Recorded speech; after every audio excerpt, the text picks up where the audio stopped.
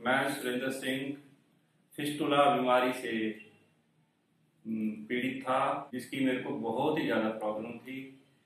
और इस प्रॉब्लम के बारे में मैंने अपनी मिसेज से बात की। फिर एक दिन इन्होंने मेरे को बताया कि मुझे ऐसे मतलब जैसे मैं आउटसाइड लैट्रिन जाता हूँ तो मुझे प्रॉब्लम होती है बहुत ज़्यादा दर्द होती है और पता नहीं अंदर क्या जख्म हो गए कुछ हो गया। तो फिर मैं भी बड़ी परेशान हो गई सुन के कि अब क्या करें। फिर मैंने अपनी एक फ्रेंड से इस बारे में डिस्कस किया तो उसने मुझे ये बताया कि सरहंद में राणा हॉस्पिटल है, वहाँ पे होता है पाइल्स का स्पेशलिस्ट डॉक्टर है वहाँ पे, और वहाँ पे बहुत अच्छा ट्रीटमेंट है पाइल्स का तो आप वहाँ एक बार ट्राई कर लो।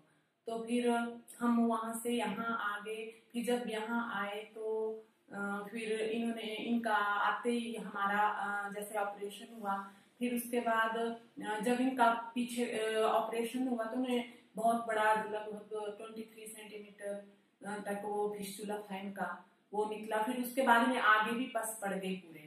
फिर उसके तीन चार दिन के बाद डॉक्टर साहब साहब ने बोला कि घबराने की आवश्यकता नहीं है हम उन, इनका आगे भी ऑपरेशन करना पड़ेगा। फिर आगे से भी इनका ऑपरेशन हुआ फिर हम तकरीबन को पंद्रह बीस दिन यहाँ तक यहाँ पे रहे और फिर जैसे वो पूरी पस निकाल दी और उसके बाद ये बिल्कुल ठीक हो गए और अब हम बिल्कुल ठीक ठाक से हैं।